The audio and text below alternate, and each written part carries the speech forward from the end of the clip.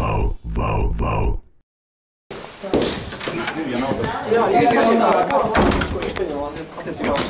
Uh, Mēs pieņemam lēmumu, ka, frakcija nosoda deputāta kaimiņa šo rīcību, kas ir neatbilstoša deputāta statusam.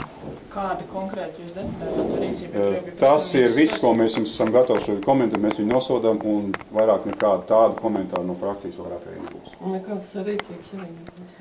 Rīcības nekādas, rīcība ir, ir nosodījums, tā ir rīcība. Jā. Un jūs nevarat neprecizēsiet, ko tieši jūs nosodat, vai attieksmi pret cilvēkiem konkrētiem, vai... Mi- Viņa tur nav, mēs neiesim detaļās, lai šobrīd, teiksim, jūs gribat viņu sašķērt daudzās dažādās darbībās, teiksim, jā, šobrīd rīcība ir kopējas darbība, un mēs šo visu šo rīcību, kas ar to saistīt, mēs viņu nosodam. Vai, vai bija kaut kas savādāk tajos notikumos nekā nu, no tiem izgriezumiem, kas ir redzami šobrīd internetā?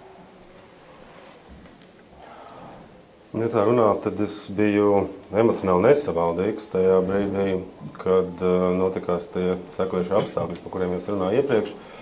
Un tā bija deputāta necienīga rīcība no manas puses un uh, visiem saviem vēlētājiem. Uh, incidentā klātesošajiem. Es gribētu atvainoties par redzēto, piedzīvoto vai kaut kur lasīto. Jautājums Dāņam Riepiņam, ko par šo saimu varētu padomāt sabiedrība un vēlētājs? Vai tas kaut kā vairots saimas prestižu? Kā tas, kāda iespēja tas sastāvis saimas prestižu? Ziniet, man jums ir godīgs kaut pretjautājums. Jūs visi mēdīji rakstuši zinot to, ka šobrīd saimā ilgstoši ir ietvo tradīcija atrasties alkohola riebona saimā darbi, darba laikā. Jūs par to neesat rakstījuši, tad šobrīd es saprotu, ka ir šausmīgi svarīgi, teiksim, vērsties pie reģiona apvienības, teiksim, deputātu, kurš ir to bijis ārpus savu darba laiku un nav pārkāpis nevienu kriminālu likumu. Tā kā šī situācijā neatbalstam, mēs jau teicām jūsu savu vērtējumu, ka mēs šādu viņu rīcību neatbalstam un nosodam. Un kas būs tālāk, tā būs iekšējā organizācijas lēmums par to, bet eh, par saimnes prestižu es domāju, ka vajadzētu parūpēties tiem, kas brauc dzērumā pie stūres un apbrauc citus cilvēkus un turpina sēdēt saimā. Tiem, kas lieto alkoholu darba dienas laikā un tur sēž saimā un eh, ceļ roku un balso, es domāju, ka šis ir daudz graujošāks saimnes prestižu jautājums. Un plus tiem, kur uzvedās saimā tā kā cirka arēnā, teiksim, jā, un patiesībā neciena savus kolēģus. Tā kā šis nav šis jautājums. policisti darīja savu darbu, un milzīgs paldies viņiem par to un apsargiem par to, jo uh, viņiem, nu, viņi bija savu uzdevumu augstumos. Un liels paldies, ka viss notikās tā, kā šis konflikts tika uh, pārtraukts. Ārtas kameras skatītāji.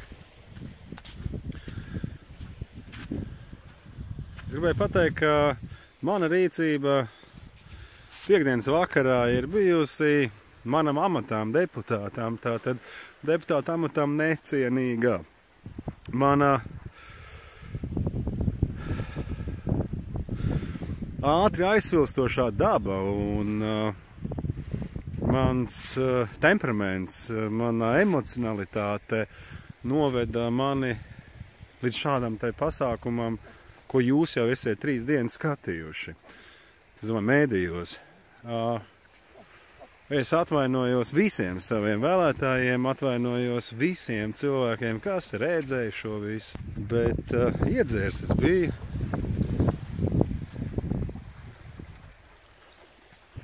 Vēl jums jautājums par tām, kāpēc trīs dienas tā kā strausa politika mīzē taktika no manas puses. Gluži vienkārši. Jūs paskatieties pa trijām dienām, cik daudz ziņu, cik daudz cilvēkiem, kādiem cilvēkiem, mēdījiem ir izdevīgi šādi te raksti. Sūdz par to, ka Rīgā notiek Eiropas kinofestivāls. Sūdz par to, tā ir septītā ziņa.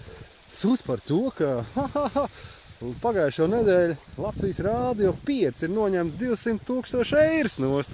Sūdz par to! Bet tas, ka kaimiņš ir uzvedies šā vai tā kaut kādā kafejnīcā, tā ir ziņa numur top 17 no 1 līdz 17. Nu, padomājiet, kam tas ir izdevīgi. Vau, vau, vau.